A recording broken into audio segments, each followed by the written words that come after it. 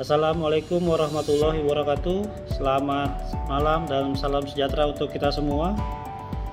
Kami pengurus PMI Provinsi DKI Jakarta dalam hal ini menyampaikan klarifikasi kami terkait beredarnya flyer ucapan duka cita dengan gambar mirip Ibu Megawati Soekarno Putri yang mengatasnamakan PMI Provinsi DKI Jakarta pada hari Kamis 9 September 2021. Adapun pernyataan klarifikasinya adalah sebagai berikut. 1.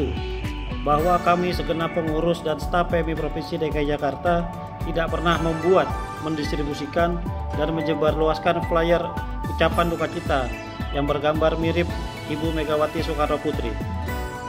Kedua, flyer ucapan duka cita dengan gambar mirip Ibu Megawati Soekarno Putri yang mengatasnamakan PMI Provinsi DKI Jakarta adalah berita bohong atau hoax.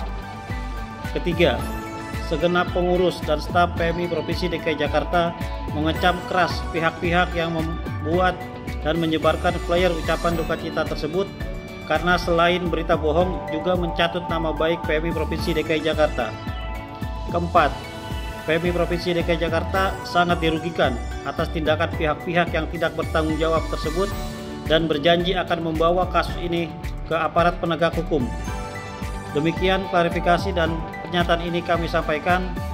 Terima kasih atas perhatian dan kerjasamanya. Saya atas nama pengurus PMI dan staf PMI Provinsi DKI Jakarta, atas nama Haji Rustam Effendi, Ketua PMI Provinsi DKI Jakarta, dan saya Arif Rahman, Sekretaris PMI Provinsi DKI Jakarta. Terima kasih. Wassalamualaikum warahmatullahi wabarakatuh. Selamat malam dan salam sejahtera.